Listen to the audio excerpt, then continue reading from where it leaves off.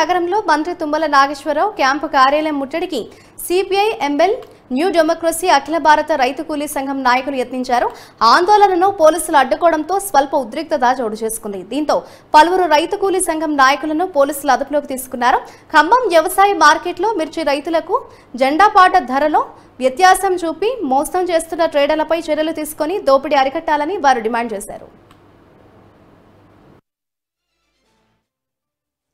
ఖమ్మంలో మార్కెట్ యార్డులో అధికారులు తర్వాత అక్కడ ఉండేటువంటి దళారీలు అందరూ కుమ్మక్కై ఇరవై ఎనిమిది వేల రూపాయలు కింట జెండా పాట పాడటం అనేటువంటి జరిగింది.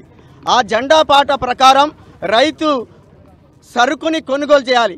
కానీ పదిహేడు వేలకి పదహారు వేలకి పద్దెనిమిది వేలకు మాత్రమే కొనుగోలు అనేటువంటి చేస్తూ రైతుని నిలువు దోపిడీ చేస్తున్నటువంటి ఒక స్థితి ఉన్నది.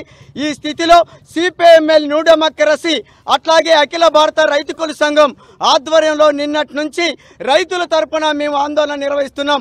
కలెక్టర్ గారు తక్షణమే జోక్యం చేసుకోవాలి. వ్యవసాయ శాఖ మంత్రి తుమ్మల నాగేశ్వరరావు గారు జోక్యం చేసుకోవాలని చెప్పి ఈ రోజు మెమోరాండం ఇవ్వటేందుకు వస్తే కూడా మమ్మల్ని మెమోరాండం ఇవ్వకుండా పోలీసులు అడ్డుతగిలినటువంటి ఒక పరిస్థితి ఉంది ఇది అప్రజాస్వామికం ఇది చట్ట వ్యతిరేకం ఇట్లాంటి ఒక చట్ట వ్యతిరేకం అప్రజాస్వామిక చర్యలకి పూనుకున్నటువంటి ఒక గత ప్రభుత్వం శంకరగిరి మాన్యాలు పట్టినటువంటి ఒక పరిస్థితి ఈ ప్రభుత్వం కూడా అదే వైఖరి అనుసరిస్తే మాత్రం అట్లాంటి పరిణామాలు ఎదుర్కోవస్తుందని చెప్పి హెచ్చరిస్తున్నాం.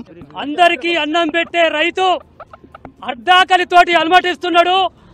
ఆత్మహత్యలకు ఇలా ప్రభుత్వాలు గురి చేస్తున్న యొక్క పరిస్థితి ఉన్నది. ప్రధానంగా ఖమ్మం పట్టణంలోని మిర్చి యాట్లో ప్రతి సంవత్సరం కూడా ఇలా అలజడి ఆందోళన రాస్తారోగాలు జరుగుతున్నాయి. కాబట్టి దీన్ని పరిష్కరించలేని ప్రభుత్వం ఎలా దాన్ని పరిష్కరించమని అడగడానికి వచ్చినందుకు నిర్బంధాలు ప్రయోగిస్తున్నారు. ఎంత నిర్బంధం ప్రయోగిస్తే అంత కసితోటి ఉద్యమాలు వస్తాయి తప్ప వెనక్కి పోవు. రైతాంగ సమస్యలు పరిష్కారం అయ్యేంత వరకు కూడా ఢిల్లీ నుంచి దాకా ఇలా ఉద్యమాలు వస్తున్నాయి. ఆ ఉద్యమాలను తీవ్రతర చేస్తాం. రైతులకు మద్దతు ధర